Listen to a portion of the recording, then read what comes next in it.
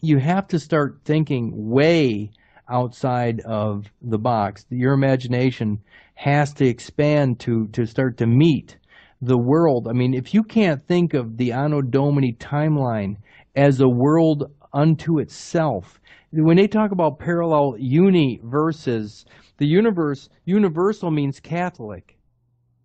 So so if you the concept of a parallel universe, if Kurtis Richard Kallenbach exists on the Anno Domini calendar, and there's another calendar that runs parallel to that and began earlier called the Old Testament, which is the Anno Mundi calendar. People don't realize how crazy this sounds, but today, um, I should look it up on the internet just to see what today actually is uh, according to the Anno Mundi calendar. Today's date, the 19th of May 2014.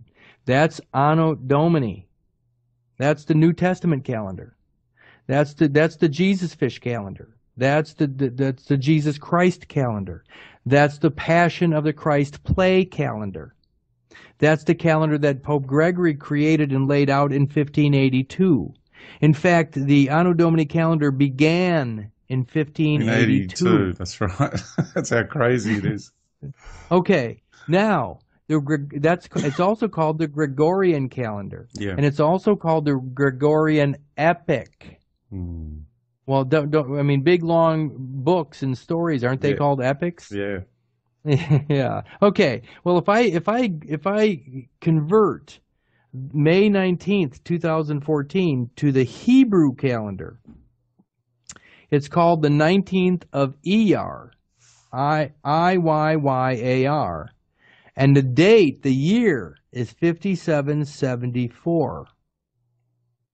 Wow. That's th- that's 3760 years difference. Wow. So, so let's just look at that. The the the, the powers that be, the we're we're going to call them the Zionists, the the the, the Old Testament Jews, the um, it doesn't matter. The, the the Society of Jesus, the Jesuits, those people in the know that are controlling the world, none of their children are born to the Anno Domini calendar. Why?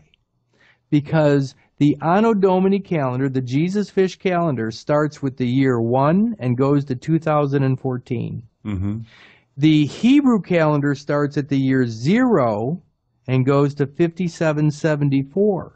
So the, the, the Gregorian calendar is a subset Yes. running parallel to the Hebrew calendar. Now, if today is 5774 to the powers that be, the bankers of the world, the people that hmm. own the the world. I'm not saying planet, I'm saying world Yeah. that we know, the two-dimensional world.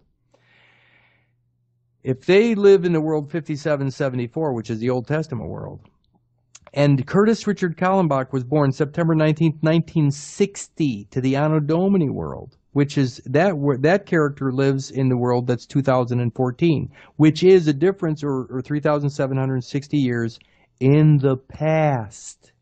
yeah. It's history. Yeah. Kurtis Richard Kallenbach is history.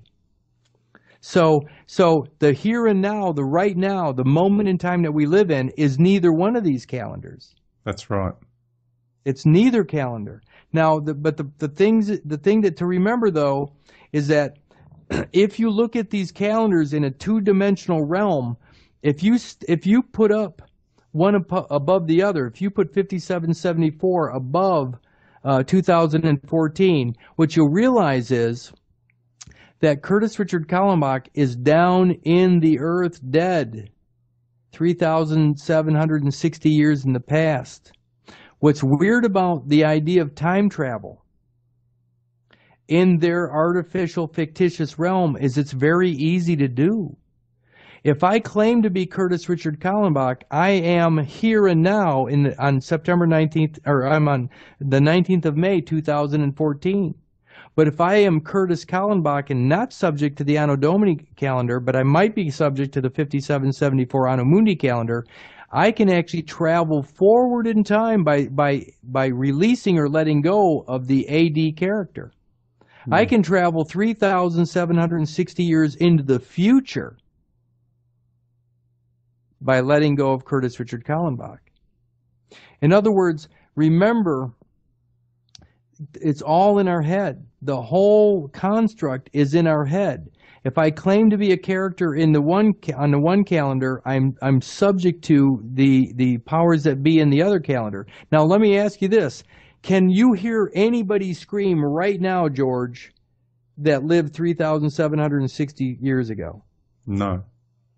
Can you help them in any way, shape, or form uh, uh, do anything? Can you help any family member that lived 3,760 years in the past?